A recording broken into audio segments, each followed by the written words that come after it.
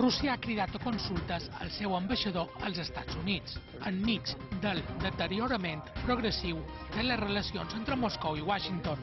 El detonant ha estat una entrevista de Joe Biden que es va emetre aquest dimecres i en la qual el president nord-americà va qualificar d'assassí el seu homòleg rus, Vladimir Putin. You know Vladimir Putin. You think he's a killer? I do. Biden va assegurar també que Rússia pagarà un preu per haver intentat interferir en les passades eleccions. A més, el govern dels Estats Units ha anunciat noves sancions contra Rússia per l'enverinament del líder opositor Alexei Navalny.